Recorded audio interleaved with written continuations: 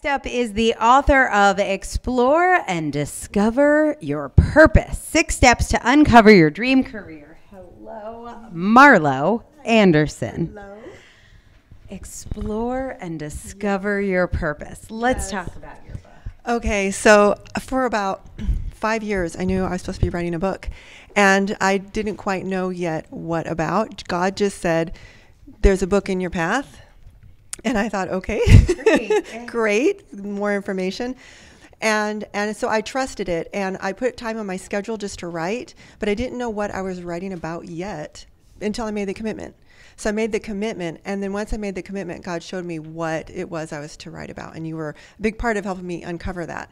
And I'm writing to mothers, stay-at-home moms, because I was a stay-at-home mom for many years. I have five kids, and um, sometimes some more come into our home. And, and the bonus children. and the bonus children that we love so much and uh, and but yet i felt this yearning inside of me that once i get to the point where my kids are more independent then i felt there was a pull for me in something in my own life you know and and i think that as mothers we give so much that sometimes it's hard to admit but we forget ourselves. Mm-hmm. We forget who we are. I've seen pictures of myself in the past like i had twins and after my twins i don't think i like really wore anything that didn't go on and off in two seconds because i had three in diapers and i was nursing and there was really no other option. And so it gets really easy to, to lose yourself in your kids. And as women we also want to make sure that we're giving. We want to make sure that we are that we are not being selfish. I think that's a big thing. Women feel, mothers especially, that we are selfish if we stop to do something for ourselves, and that's something I wanted to um, disarm because it's actually the opposite. We're actually the most generous when we become who we truly are, because then we can serve not only to our kids, but we can serve in the capacity that is beyond our children as well. as- Totally. Well, Fiona from Connecticut asked a question you started to answer, so we're going to jump in and finish it up. She said, um, Had you tried writing a book before this process? And what were the major pitfalls that were solved here? So you had this book idea for a little while. Yeah. Uh, I love your idea of committing 1st I think that's a big piece of it. What do you think were some of the other pitfalls that were solved in this process? Um, I think there the only the best way I could answer that is I, I because I made the commitment to write when I sat down and I didn't know yet what I was writing. I put it in my schedule, 9 a.m., sit down and write. And even though I didn't know what it was, I just started writing. And I trusted that if God told me that I was to write, that He would work through me. And then what happened is, over a process of doing that for a while, sometimes there was the day before I got exactly what I was supposed to do, I kind of felt a depression because I mm. wasn't sure if it was really going to happen because I was putting so much faith into this, but yet I couldn't see any outward signs yet.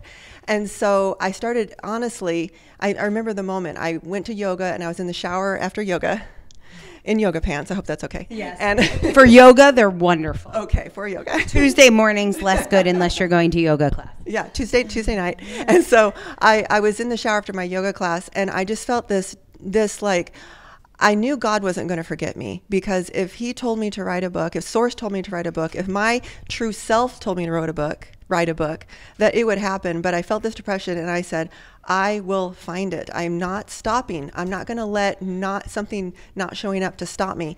And so then I just kept going, and then there was a moment where it just the heavens opened. That's the way I can describe it. So I Was that when we met? that was when we met. That was when we met. Um, and so God will send you the people to help you where you can't do things alone.